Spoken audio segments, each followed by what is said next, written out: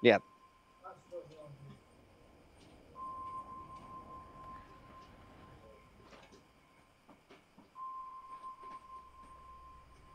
Ya kan? Ini yang terjadi. Asal pijakan kakinya kita turunkan. Ini bisa kayak gini. Assalamualaikum warahmatullahi wabarakatuh sahabat mata putih. Ya malam ini adalah malam yang memang sangat spesial kenapa karena sejak dari tadi siang saya itu diikuti oleh sebuah krosi roda ya ini yang saya pakai jadi krosi roda ini nggak tahu tanpa sebab atau gimana kursi roda ini datang mengikuti saya terus.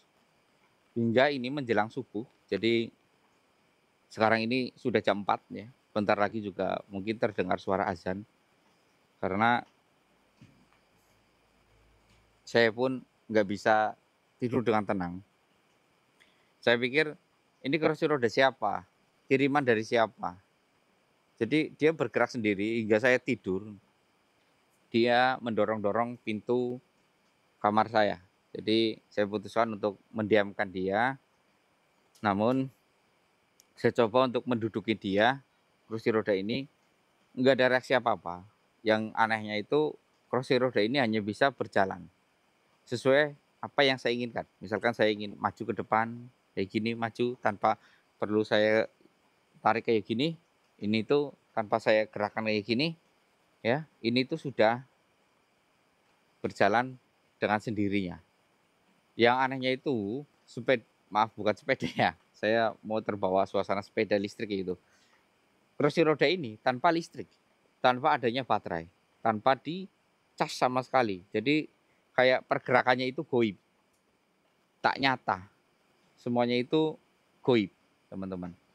Ini yang menjadi keanehan buat saya ya. Justru kok ada gitu dan ini terus bergerak mengikuti saya kayak mau apakah ini baik atau buruk gitu yang jelas dia mengikuti saya jadi awal mulanya saya berjumpa dengan kursi roda ini itu di sebuah pasar teman-teman saya melihat kursi roda ini tergeletak di pinggir pasar saya nggak mengambil sama sekali ya saya naik mobil sampai rumah ya tiba-tiba dia ini berada di samping rumah saya.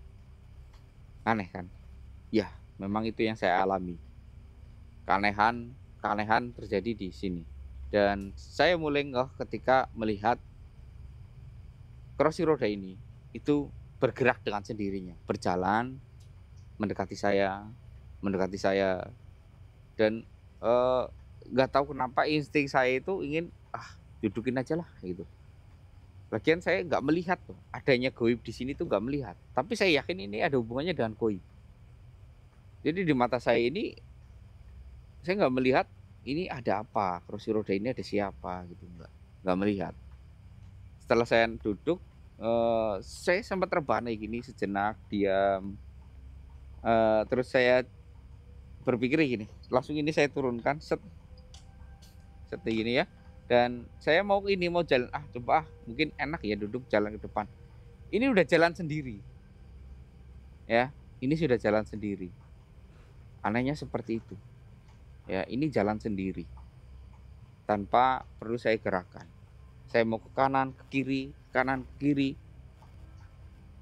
enjoy aja fine enak tapi saya yakin Maksud tujuan kursi roda ini datang menemui saya bukan hanya karena saya ingin main-main, saya ingin ini tidak, pasti ada yang lain. Ya. Ini saya tunjukkan kalian. Ini kursi roda biasa, ya. Ini lihat. Lihat sampai saya putar ke belakang, ya. Enggak ada baterai sama sekali, enggak ada dinamo di rodanya, ya. Sama sekali enggak ada dinamo, enggak ada apa-apa, ya. Enggak ada apa-apa. Semuanya klasik. Manual. Tidak ada tombol. Tidak ada apa pun. Cuman kuncinya ada hanya satu ya. Kita turunkan pijakan kakinya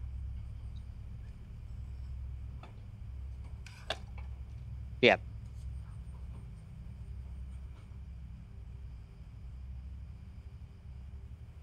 Lihat.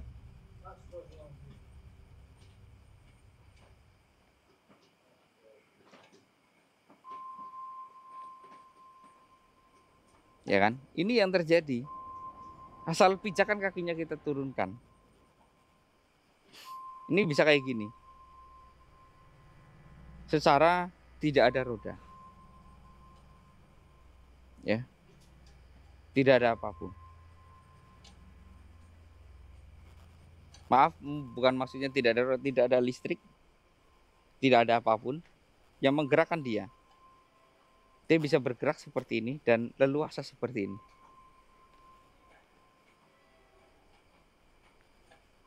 Tapi anehnya, kalau saya kayak gini kan, ini berhenti loh. Berhenti.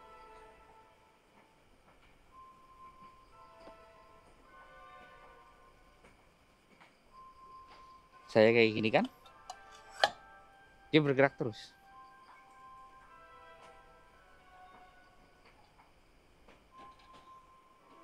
Aneh ya? Ya, aneh tapi nyata. Ini yang terjadi.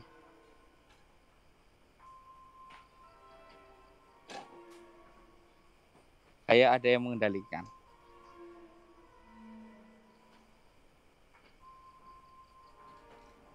Jadi ini ya teman-teman, kenapa saya taruh ini di dekat ini kayak gini? Ini supaya dia itu tidak pergi jauh-jauh. Nanti kalau saya ngajak ngobrol dia terus di tempat yang rata lurus dia udah uh, sambil berjalan-jalan. Kayak nggak mau berhenti. Makanya saya ratakan dia itu di sini supaya kalau jalan dia terjatuh.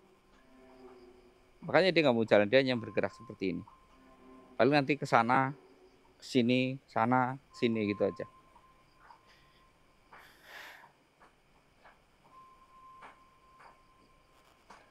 Saya yakin di balik semua ini pasti ada makhluk gaib yang memang sengaja untuk bertemu dengan saya tapi dia kayak mungkin ragu, takut atau gimana untuk uh, memperlihatkan siapa dia sebenarnya. Tapi untuk kursi roda jelas penggunanya itu adalah disabilitas. Udah jelas.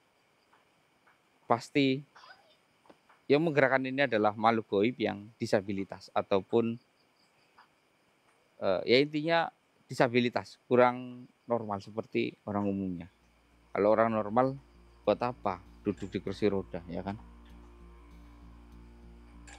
Allah alam ya semua ini hanya Allah yang tahu tapi untuk saat ini saya harus uh, mencoba membuat dia itu muncul. Kalau tidak kursi roda ini akan saya buang ke sungai ataupun saya potong-potong. Bahkan mungkin saya bakar ya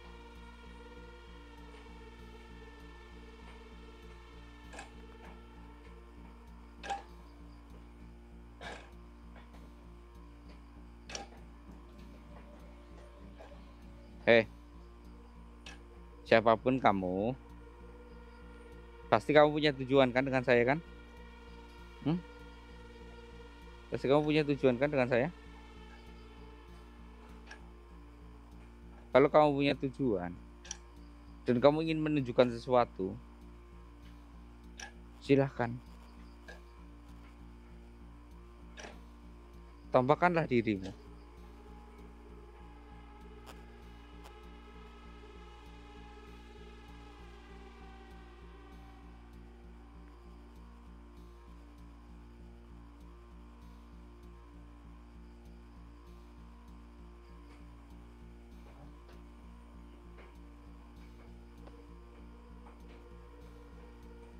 Tampakkanlah dirimu.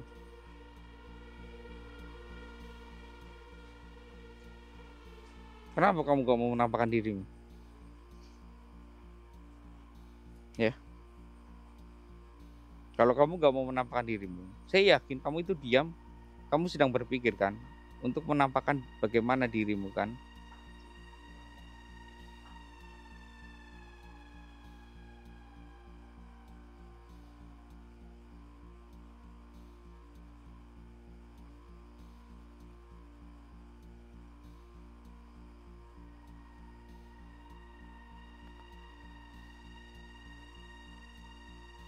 Eh, kenapa diam?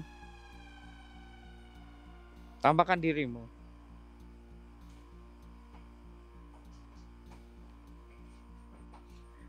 Saya nggak mau dikerjain seperti ini, saya nggak mau diikutin. Mau, saya bakar. Mau saya bakar, saya buang ke sungai. Saya nggak peduli ya, meskipun kamu disabilitas.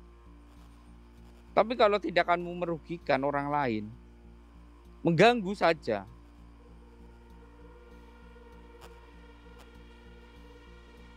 Harus saya bakar.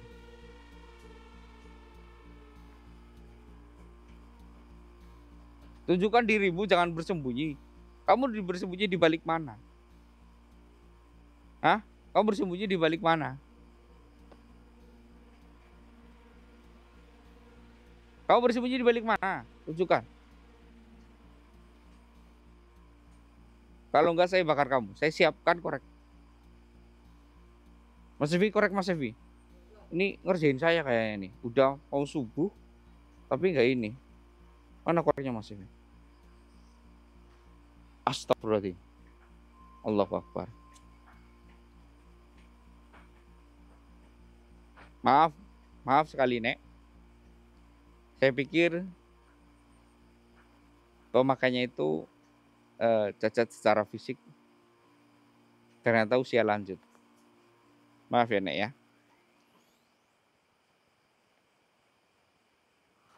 Eh, Nek.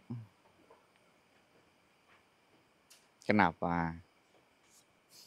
Kenapa nenek terus mengganggu saya? Mendorong-dorong pintu, menabrak-nabrakan kursi roda ini ke pintu. Apa sih, Nek?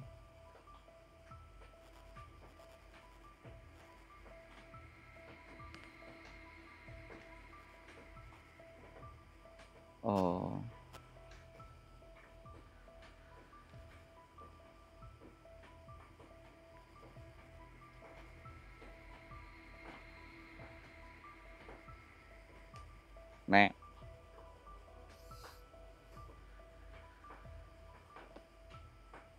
Saya tahu.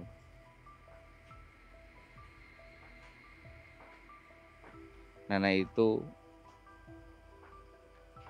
sudah tua, mungkin malas berbicara. Ataupun mungkin nenek kena stroke gak bisa berbicara. Tapi karena nenek itu sudah kategori goib, tentu saja bisa berbicara. Ya, jangan pakai bahasa isyarat susah, Nek. Tidak semua orang itu bisa mengartikan isyarat yang diberikan.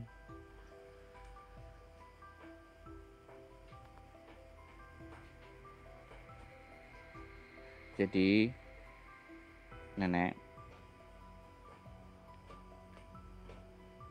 saya mau Nenek itu berkata, "Apa yang nenek inginkan dari saya?"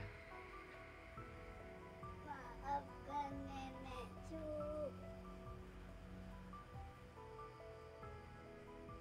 Ya, saya dipanggil cucu nggak apa-apa. Ya, kenapa nih?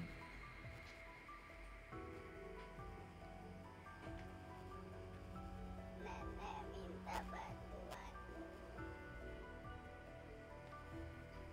Nenek meminta bantuan saya. Baik, saya akan membantu. Sebisa saya tapi. Sebenarnya nenek cerita dulu. Nenek itu kenapa bisa seperti ini? Jadi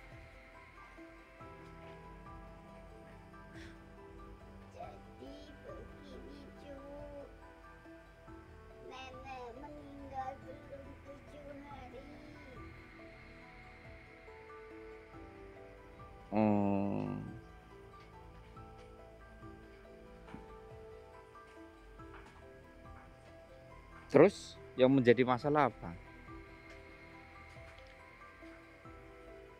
Nenek. Nenek ingin kamu menyelamatkan cucu nenek. Apa hubungannya dengan meninggalnya nenek?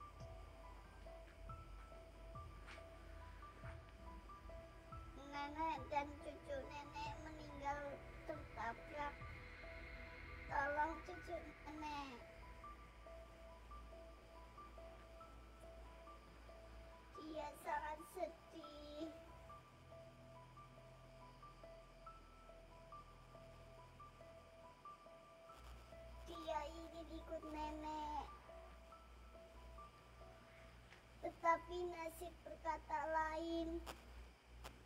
Dia masih diizinkan untuk hidup.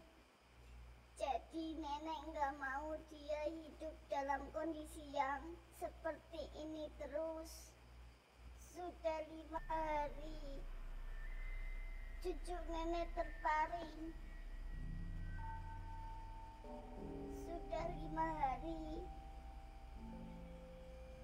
dia mengalami titik kematian dan kehidupan. Sedangkan dia sudah menginginkan ikut nenek, tetapi Tuhan menginginkan dia hidup. Makanya nenek mencarimu untuk membantu nenek.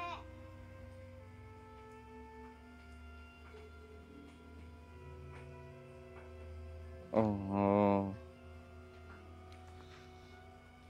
Oke. Saya akan membantu, tapi saya tidak tahu alamatnya di mana. Dan dia sekarang di mana.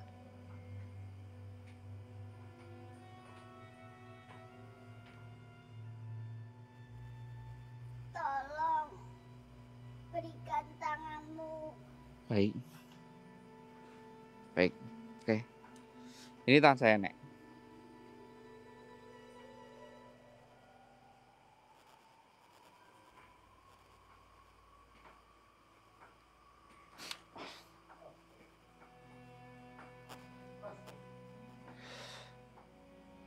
Astagfirullah. Astagfirullah. Eh, teman-teman, kita bisa lihat eh, ini darah, ini darah eh, di tangan dan di baju nenek ini ternyata saya pikir ini adalah darah nenek ini, ternyata bukan, ya. Jadi meninggalnya nenek ini tuh tidak mengeluarkan darah, ya karena mungkin penyakitnya dia itu kayak anemia kurang darah. Jadi dia meninggal. Ini yang berceceran adalah darah dari cucunya. Jadi cucunya itu sedang pergi bersama nenek ya. Mendorong nenek namun tertabrak. Dan yang terjadi adalah dari tabrakan yang sangat kuat itu ini aslinya itu kursi roda ini itu sudah hancur teman-teman. Nah hancurnya itu menggores beberapa tubuh dari eh, cucunya hingga darahnya cucunya itu kayak yang kena nadi ini mantur gitu teman-teman darahnya ke nenek ini. Dan sekarang dia itu sedang dalam kondisi kritis ya udah lima hari kritis. Kritis selamat kritis selamat kritis selamat gitu. Dan nenek ini mencari saya. Ya dia ingin saya membantunya tapi saya nggak tahu membantu dengan cara apa ya saya nggak bisa menyembuhkan di luar kendali secara medis. Saya pasti kalau menyembuhkan secara perlahan. Namun karena ini sudah di kategori ICU, saya nggak bisa apa-apa. Ya, kalau ICU itu sudah kewenangan dari sang dokter. Saya angkat tangan.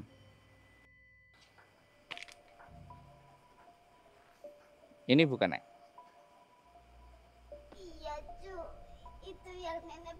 Cu. Terima kasih, Cu. Yang malaikat perlihatkan itu seperti itu. Baunya juga seperti itu.